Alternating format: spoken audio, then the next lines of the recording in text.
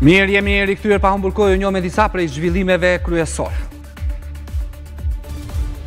Pak momente më parë, Komisioni Qendror i Zgjedhjeve shpalli të pavlefshëm vendimin e Fredi Belerit si kryebashkiak i Himarës pas gati 14 muajsh nga zgjedhja e tij në këtë detyrë dhe në mungesë të betimit pasi ai ndodhet në qeli tashmë i dënuar për shitblerje votash. Beleri i pranishëm në seancë kërkoi të bëjë betimin dhe më pas ta shkarkojnë. Ai kërkoi Nga KQZ që ta çojë në kushtetuese çështjen e mandatit të tij.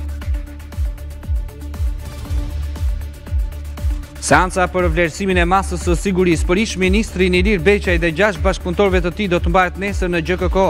Seanca e parashikuar për sot u shty me kërkesë të avokatëve mbrojtës, të cilët kërkuan që të njihen me aktet hetimore. Beqaj akuzohet për abuzime me fondet e Bashkimit Evropian gjatë kohës që drejtonte SASPAK.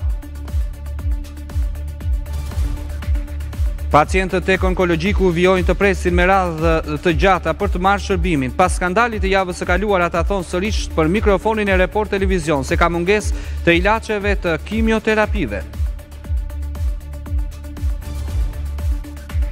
Ka nisur sot kalimi i mjeteve në njërin krah në tunelin e Llogarasë me gjatësi prej 5.9 kilometrash, i cili do të shkurtojë ndjeshëm kohën e udhëtimit drejt bregdetit të jugut.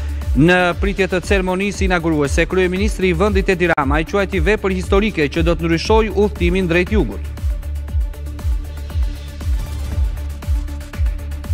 Është shuar në orët e para të mëngjesit vatra e zjarrit që ra pasditen e djeshme në qafën e Llogarasë pas angazhimit të shumë forcave zjarrfikëse dhe atyre të ushtrisë. Drejtori i përgjithshëm i zjarrfikëses Arben Cara tha se zjarri ka qenë i qëllimshëm dhe se po punohet për kapjen e zjarrvënësve që të vihen përpara ligjit.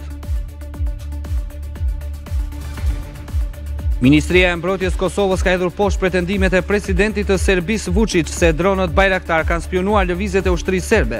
Sipas Ministrisë së Mbrojtjes, dronët Bajraktar shërbejnë në mbështetje të operacioneve brenda territorit të Republikës së Kosovës.